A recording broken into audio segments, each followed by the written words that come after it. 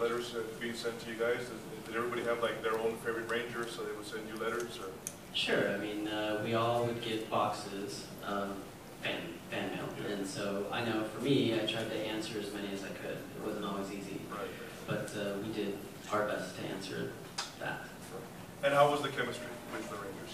The original cast, um, I mean, we had amazing chemistry.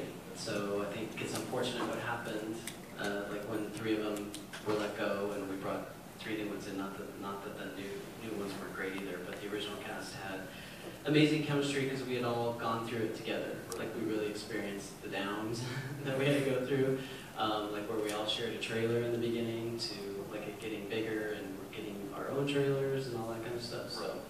Um, you know, the original cast, we had great chemistry together, so. That's awesome, that's awesome. I'd like to turn it over to the audience, because I know that this is basically your panel as well. Are there any questions for Mr. David Yost here?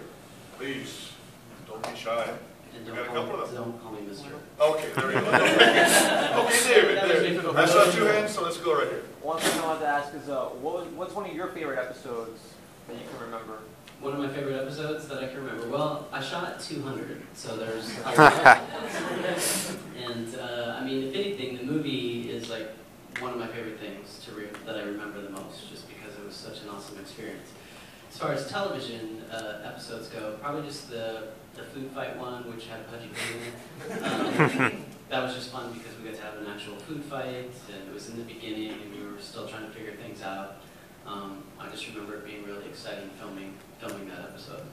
That's awesome, that's awesome.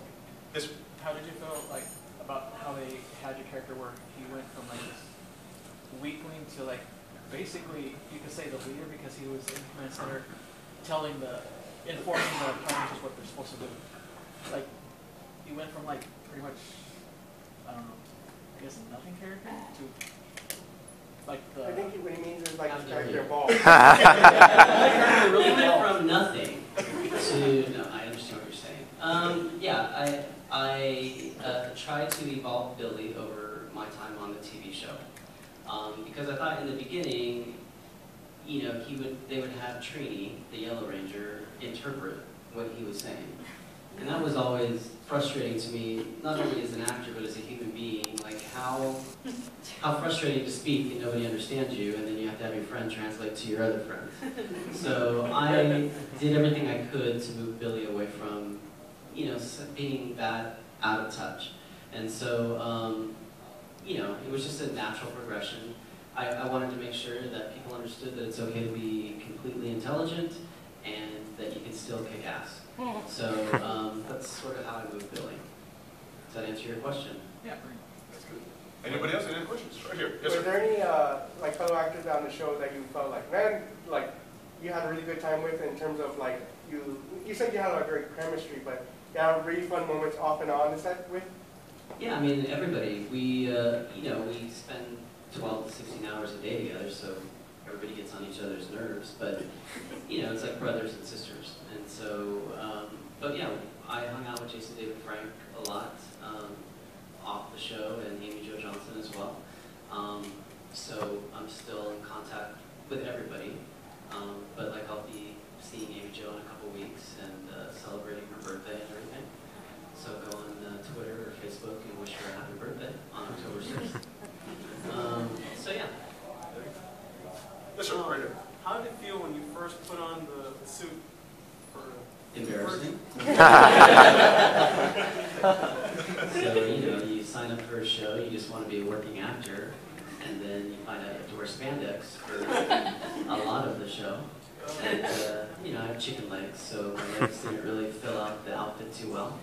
Um, so I don't know, it's embarrassing, but exciting at the same time. Good. That's good. Yeah. Great question. Any- Anybody else? Right here. If there was a reunion, would you join the cast? Absolutely, I would, uh, if they did a legitimate reunion, um, I would absolutely do it. I would be excited to do it. Um, you know, where they really took the time to develop the characters and explain what's happened to them and, and all that. They are doing a, a Mega Force reunion where they brought back a lot of people, um, but I chose not to do that because I didn't feel it would be the, I didn't feel it was under the right circumstances. Have, has there ever been talks it? Like, have there been talks about the original, bringing back the originals for the reunion? Um, I, I don't know, I'm not involved in the production of it, so I don't know if they've been talking about it. I know fans ask about it all the time, Yeah. I think it would be exciting to do, Yeah. but I don't, I don't